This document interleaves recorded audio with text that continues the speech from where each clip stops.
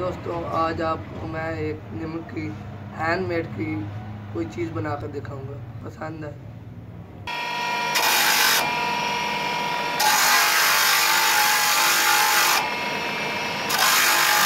तेरा भरी।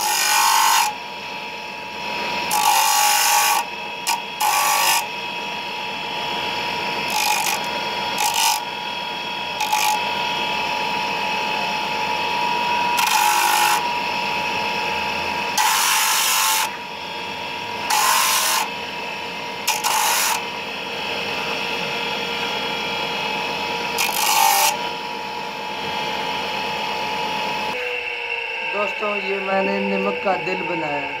प्लीज़ अगर ये मेरी वीडियो पसंद आए तो इसे लाइक और शेयर करें।